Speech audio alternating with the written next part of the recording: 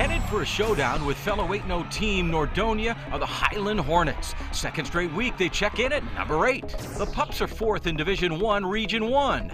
Canton McKinley now number 7. Fresh off a win in the Holy War and gathering playoff momentum are the St. Ignatius Wildcats number 6. Their lone blemish to Ignatius several weeks back. The Mentor scoring machine geared up. The Cards are number 5. Cruising through the Senate, the multi-talented Glenville Tarblooders are number four.